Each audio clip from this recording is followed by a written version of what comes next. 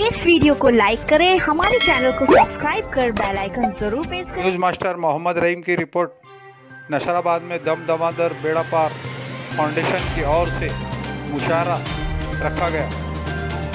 चार पंक्तियों में सुना रहे थे। देखिए मराठी में बोलते हैं कि जिथे जात नाही रवि तिथे जातो कवि। वाह वाह।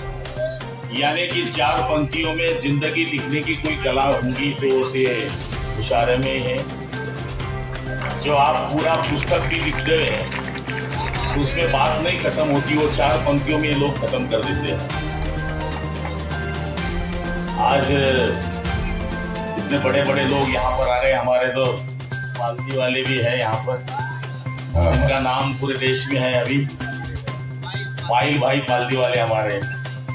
और बड़े मेहमान लोग अपने गाँव में आए हैं मेरे तहसील में आए हैं। मैं तय दिल से उनका शुक्रिया अदा करता हूँ। थैंक यू सर इंशाल्लाह वो आगे से आगे चलते रहे बढ़ते रहे। आप आशीर्वाद रखे बनाए रखे आशीर्वाद। आशीर्वाद देने वाला तो